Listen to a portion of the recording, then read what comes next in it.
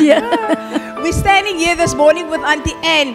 Many of you guys remember Auntie Anne is now quite a regular here in front because she's having a lot of testimony because she said the anointing in this house is dangerous.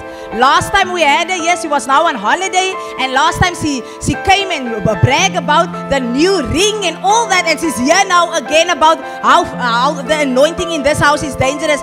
She said our prophet, many of you guys, um, uh, like Pastor Selma just said now, when prophet release something, never think when will it be me. It's always other people. You receive it with faith because that is what she did. Prophet always release cars and houses. All of you guys know. So she said she receive a car because she wants to be here at church every day. So here is her car keys.